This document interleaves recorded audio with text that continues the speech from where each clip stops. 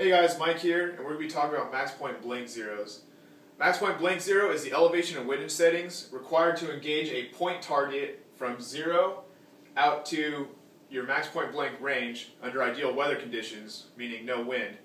So point targets are targets that we can engage by aiming center of mass of our vital zone here. So my vital zone, I use a 10 inch center of mass shot.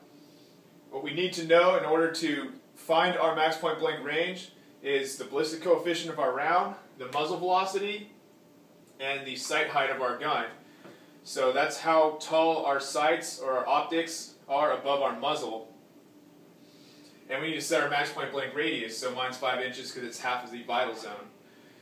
This is good for guns that have iron sights or optics that don't have a elevation compensator, a bullet drop compensator, or a rear elevation settings. So if you have fixed backup iron sights, this would be good for that. You can still use this for your uh, sights that have a rear sight elevation adjustment.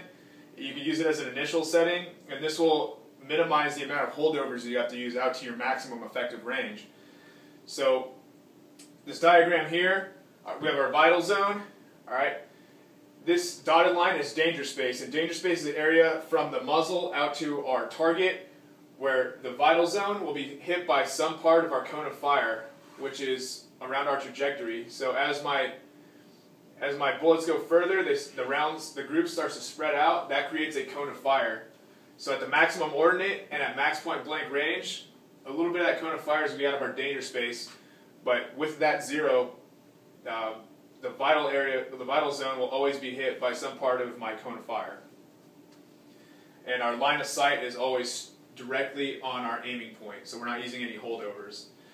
So go to jbmballistics.com, use one of their calculators, and you can find out the max point blank range for your rifle.